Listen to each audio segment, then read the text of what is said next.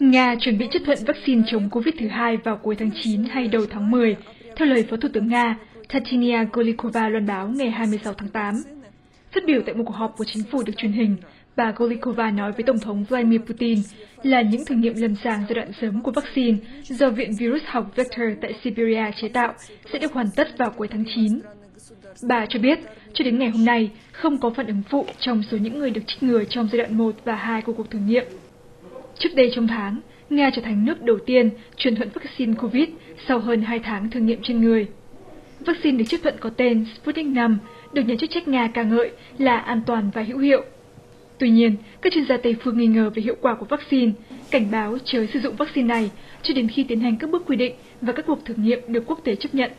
Rdis quỹ đầu tư trực tiếp nga cho biết, vào ngày hai mươi sáu tháng tám, giai đoạn cuối cuộc thử nghiệm lâm sàng cho sputnik V đã bắt đầu